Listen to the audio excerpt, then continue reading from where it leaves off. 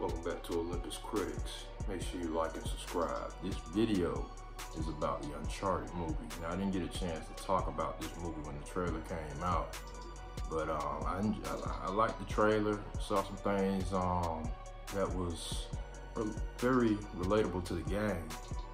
My only problem is the director. These are my problems with the directors of these movies. Now, if you've seen my previous video of the Ghost of Tsushima movie that's supposed to be coming out, I did explain that on this movie needs Uncharted to succeed because the video game movie curse is real. Um, Sonic, some way it has been able to survive this curse. It was able to get a sequel. We got a trailer for that. But this movie has Ruben Fleischer, if I'm pronouncing his last name right. And I've been keeping up with his movies. Now he did, his last movie was Venom.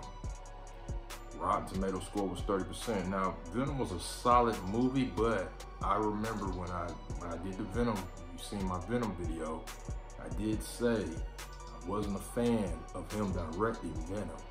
And even though it made a lot of money and stuff, uh, a lot of people saying it should have been rated R. I don't know. Rated R wouldn't have made no difference. It's gotta be a good quality movie. You gotta get a director knows what he's doing now. He hit a home run with Zombieland. The second one didn't do too good. Um, he did Gangster Squad. That didn't do good. 30 minutes or less, whatever that movie was. I remember these movies because I was like, who directed this, this stuff? Now he's directing Uncharted. I was really hoping John Joe Carnahan did it, did this movie, but they chose Ruben Fleischer, and hopefully he can he can pull this off. Um, when I saw that he was he was um, put as the director, I was I was I was cringing a little bit. I'm not gonna lie, I was cringing because these video game movies need to be helmed by good directors that are good storytellers.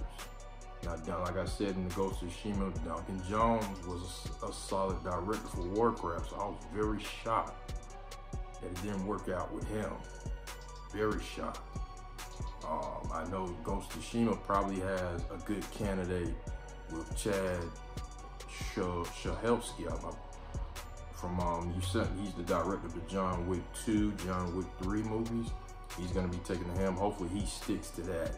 They don't get anybody else, you know. And then you got the Metal Gear Solid. Um, they're gonna have Kong Skull Island direct. I'm not sold on him either. These movies, they have to be handled by good directors.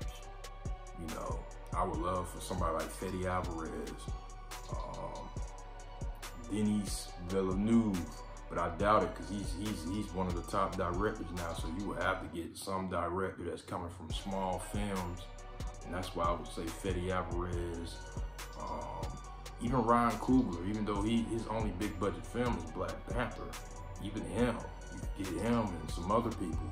These guys are really big fans of some of these video games. They could transition to this, but they chose Ruben Fleischer. I mean, I hope he can get the job done. He has two good, solid actors in Wahlberg and Holland.